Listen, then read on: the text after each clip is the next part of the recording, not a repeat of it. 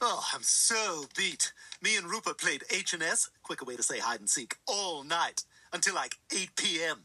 I'm not even joking. Want to play? Not now. I'm trying to get this TED talk onto the TV. I can see the Pornhub logo reflecting on your big wet dog eyes, you scumbag. Uh, honestly, Stewie, I'm getting pretty bored of hide and seek. Please, Brian, just one game, please. okay, but no more hiding in the fridge, in the washing machine, the open safe with the long forgotten combination. Oh, no, I'm way better now. I might be the best player in the world. Okay, I'm gonna go hide. Count to 20.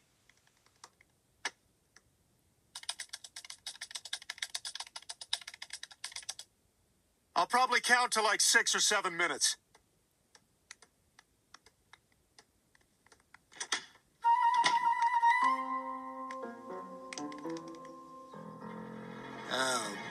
That's the spot.